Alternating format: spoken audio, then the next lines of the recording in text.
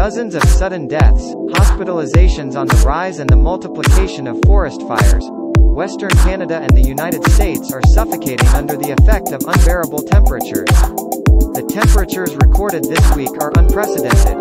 There have been deaths and the risk of forest fires is at a dangerously high level, the Prime Minister of Canada said on Wednesday.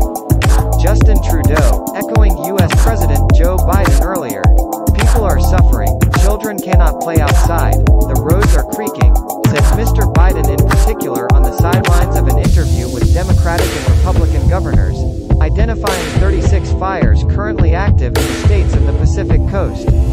The northwestern United States, used to temperate and generally humid weather, has set records in recent days, with a high of 46. 1 degree Celsius on Monday in Portland. The port city was breathing a little easier on Wednesday, as the heat wave slowly moved inland. On the other side of the border, several fires were also underway in Canada on Wednesday, including one near the village of Lytton, some 250 kilometers northeast of Vancouver. It was there that a new absolute heat record for the whole country, at 49. 6 degrees Celsius. The historic heat wave continues to break records, and is expected to last until the end of the week, write the Canadian Weather Services, listing a long list of temperatures never before seen in Canada, which sometimes break records set in the 19th century. The panic of thermometers has claimed victims. At least 134 people have died suddenly since Friday in the Vancouver area on the Pacific coast, authorities said. We believe that the heat contributed to the majority of the deaths, said federal police,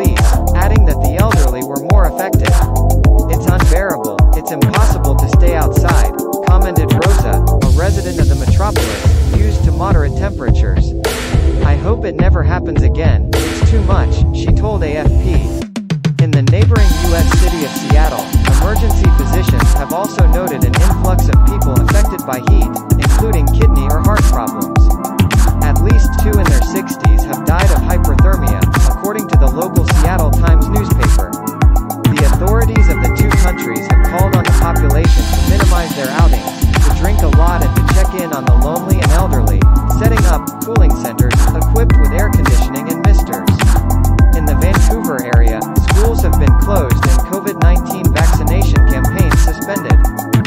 conditioners and fans are out of stock.